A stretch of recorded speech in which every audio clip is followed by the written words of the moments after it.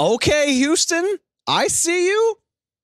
On a day where the Houston Texans were technically a home underdog, they crush the Cleveland Browns by a score of 45 to 14 on a day that CJ Stroud became the youngest quarterback to ever win a playoff game. He beat the number one defense in the NFL so badly that he was on the sideline, done for the day with 10 minutes left in the fourth quarter.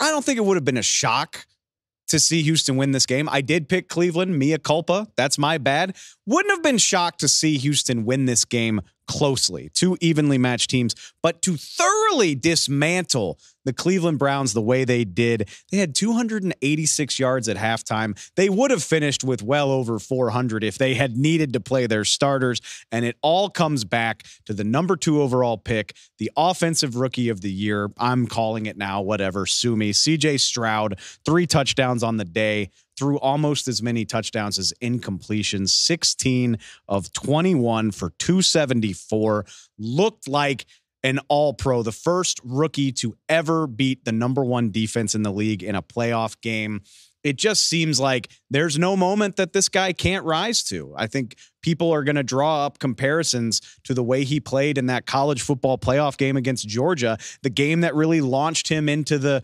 possibly number one overall pick conversation that day against the best defense in college football 348 yards and four touchdowns in a narrow loss. This is a higher degree of difficulty. Arguably a bigger stage, the NFL playoffs. It's the pro level it seems like no matter how big the moment is, CJ Stroud is going to rise to it.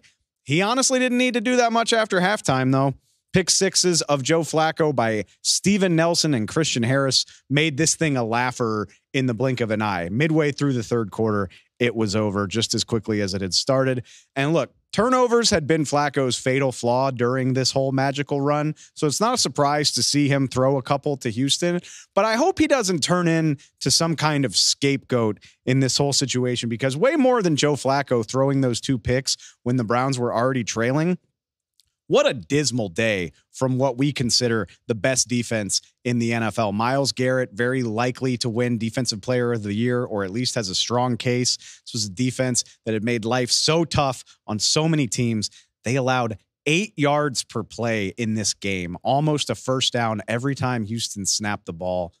They gave up five different games of gains of 27 or more yards. A dismal day at the office for Cleveland, and their season's over now. Congrats to the Houston Texans for taking it to them, and they are on to the second round of the playoffs.